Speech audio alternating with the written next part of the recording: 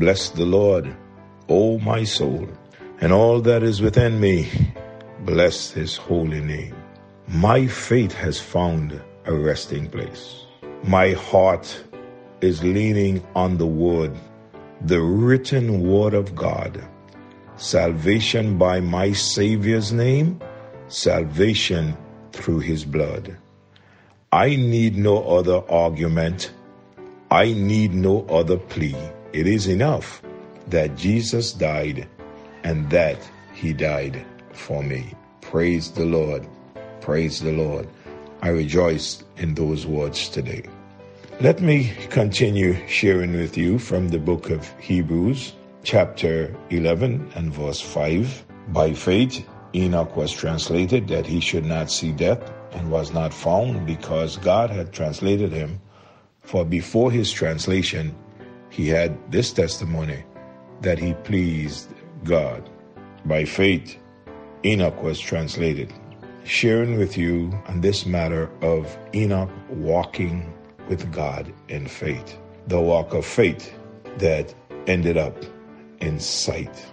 I shared with you yesterday morning the distinguishing marks or the characteristics of this walk of faith. What are the distinguishing marks of Enoch walk of faith? Yesterday I said to you, I noticed from the Word of God that it was a walk with God. When I closed yesterday morning, I also said to you that it was a walk that was pleasing to God. Now, that's what we're going to look at a little bit this morning. One of these distinguishing marks about Enoch's walk with God, his walk was pleasing to God. In other words, he lived a life pleasing to God. The question is asked Is it possible for us to know that we are living day by day in a way which is pleasing to God? That's the question. Let me answer for you quickly. Yes, it is possible. Many people think that one cannot please God. Well, that is not a, a good thought. It's a wrong thought. It is possible that we can please God. But how can we know? The Word of God told us some of the things that are pleasing to Him.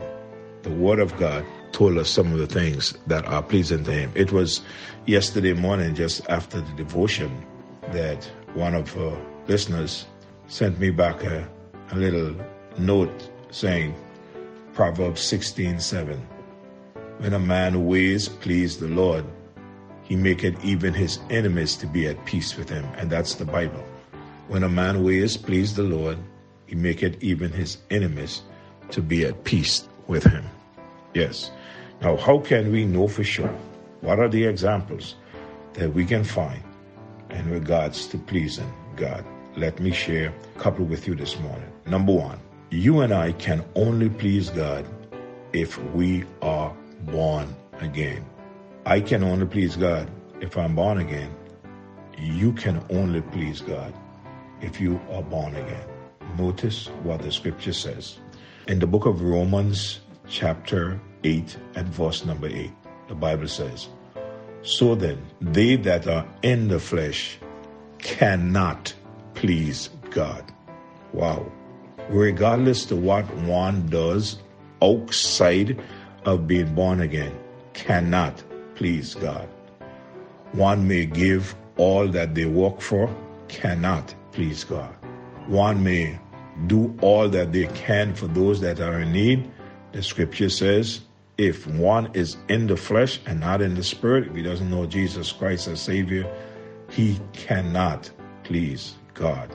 To be born again means that one needs to stop and see his or her condition. And in the book of Ephesians, chapter 2, and verse number 1, the Bible tells us something about the person that is not born again.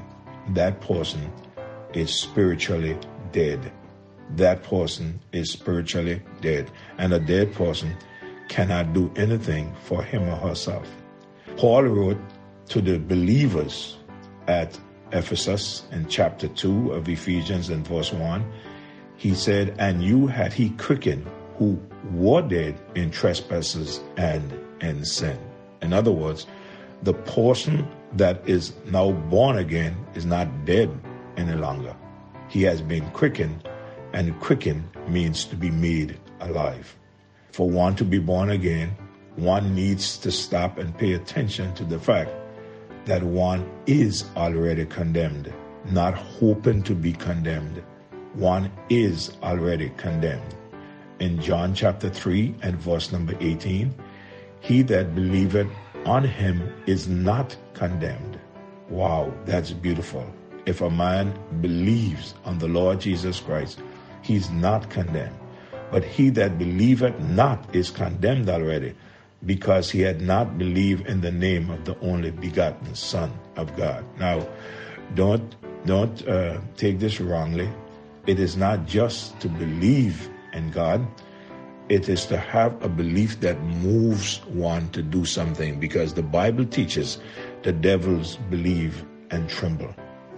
The person that don't know Jesus Christ as Lord and Savior must be aware that the wrath of God abideth on him, waiting to be poured out on him or her.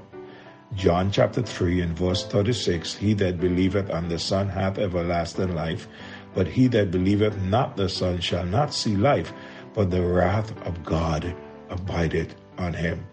This is a very, very terrible situation to be in, where the wrath of God is just waiting to be poured out on someone.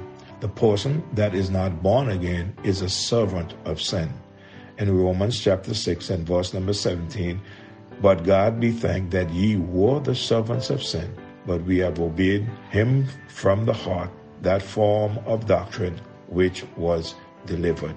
Yes, the person who does not know Jesus Christ as Lord and Savior, watch, the wrath of God abideth on him. And then one needs to stop and pay attention to the fact that the person who does not know Jesus Christ as Lord and Savior is heading to the lake of fire. Revelation chapter 20 and verse number 15. The bottom line is that person is lost. Luke 19:10 For the Son of Man is come to seek and to save that which was lost. That's the condition. And you know I can go on and on and share this morning with the condition of the lost. That's the condition of the lost. But God promised us that that condition can change. And let me quickly tell you what are some of the promises that He promised. He promised the gift of eternal life. Romans 6:23 for the wages of sin is death, but the gift of God is eternal life. He promised forgiveness of sins. Colossians chapter 1 and verse number 14, in whom we have redemption through his blood, even the forgiveness of sins. He promised salvation through his grace. Salvation through grace, uh, through faith. Titus chapter 2, verse 11 For the grace of God that bringeth salvation hath appeared to all men. He promised to dwell in our hearts when we accept Him as Savior that Christ may dwell in your hearts by faith, that ye be rooted and grounded in him. He promised the love of Christ, which passeth all understanding. He says, and to know the love of Christ which passeth all knowledge, that ye might be filled with all the fullness of God. And I can go on and on this morning. But one of the key things about pleasing God, the first thing one needs to know about pleasing God is that that individual must be born again. We must be born again. So let me say again to you in Romans chapter 8 and verse number 8. So then, they that are in the flesh cannot please God. We are either in the flesh or we are in the spirit. Can we please God? Yes. How? First of all, in order for one to please God, one must be born again. And Enoch, he had a walk that pleased God, which tells me that Enoch was not in the flesh. Enoch was in the spirit. And it's not just that he believed God in his head, but no, he believed God to the extent that it did something with his heart and it did something with his life, with his walk. He walked with God. What are the distinguishing marks of Enoch walk? It was a walk with God. It was a walk that was pleasing to God. Tomorrow morning, God spare our lives. I would pick up on this matter. Uh, is it possible that we can know that we are pleasing God and give you some more examples? Just one we were able to go through this morning. Uh, Father, thank you so much for the Word of God. You've been so good to us, God, in allowing us to have your Word so that we can know, Lord, what's going on. We can know, God, if we are pleasing you or we are not pleasing you. So this day I pray if there is anyone that's listening to my voice and don't know you as Savior, has not trusted the Lord Jesus Christ to be his or her Savior, if that person is not born again, I pray that they will reach to the place in their life and realize that they are a sinner. Oh, this is the thing that keeps so many out of the kingdom. Realize that there is a need for salvation. And then realize that there's only one person who has provided that salvation. For neither is there salvation in any other, for there is no other name under heaven given among men whereby ye must be saved. Accept the finished work of Jesus Christ on Calvary's cross, and then confess with their mouths the Lord Jesus and believe in thine heart that God has raised him from the dead, thou shalt be saved. He says, if you confess your sin, he is faithful and just to forgive us and to cleanse us from all unrighteousness. Save the lost this day, Lord. And for those of us who know you, draw us closer to you. And Lord, may our walk please you. In Jesus' name I pray. Amen. God bless you all.